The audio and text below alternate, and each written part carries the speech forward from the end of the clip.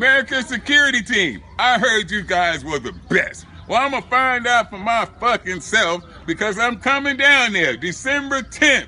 So mark the date, motherfuckers. American security team, December 10th, Las Vegas. I'll be there.